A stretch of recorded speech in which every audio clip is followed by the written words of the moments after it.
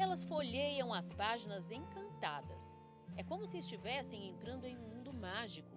E hoje comemoram a inauguração da biblioteca na creche graças a um projeto solidário que, nos últimos dois anos, estruturou e montou 18 bibliotecas infantis em creches e escolas de regiões carentes do estado de Goiás. A creche foi inaugurada há mais de um ano e ainda não tinha uma biblioteca. Quando a direção soube do projeto, não imaginou que iria ficar dessa forma aqui. Olha, tudo adaptado para elas o tamanho das cadeiras, a altura das mesas e mais de 2.500 exemplares de livros infantis, que agora estão aqui, ó, encantando essas crianças. O objetivo é esse, estimular a leitura, a imaginação e os sonhos de mais de 130 crianças.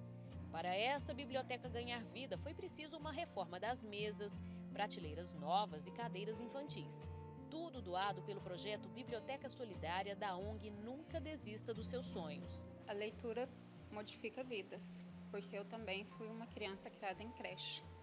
E ter essa oportunidade de estar nessa instituição, hoje recebendo esse projeto, me deixa muito emocionada. Porque fez a diferença na minha vida e eu sei que vai fazer a diferença na vida de muitas crianças. O responsável por esse trabalho é o Ricardo, idealizador de um projeto social que leva, além de presentes e alegria, a mensagem que transformou a vida dele: nunca desistir do próprio sonho. E os sonhos do Ricardo foram realizados graças aos livros. Eu sofri muito bullying, né, quando era criança, e eu busquei refúgio nos livros. E nos livros eu me conectei com o mundo, descobri outras culturas é, e prometi que um dia, quando eu crescesse, eu queria conhecer todos os países que eu tinha visto num livro.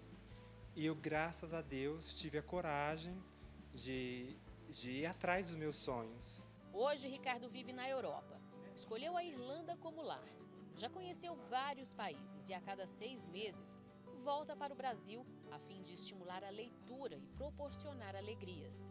Ricardo também é autor de um livro autobiográfico onde narra a história de uma infância pobre e difícil marcada por bullying e cheia de obstáculos. E até se tornar o adulto bem-sucedido e vencedor, hoje um cidadão europeu, foram muitas batalhas. A avó vendia quitandas para sustentar o neto e a rotina não era nada fácil. Foi nos livros que Ricardo buscou abrigo e conforto e encontrou o caminho para realizar os sonhos. Das dificuldades, tirou lições importantes e decidiu que vencer era a única opção. De dois anos para cá, é, eu resolvi abraçar essa questão da educação, porque como a minha vida foi transformada através dos livros, eu senti no dever é, de transformar a vida das crianças também através da leitura.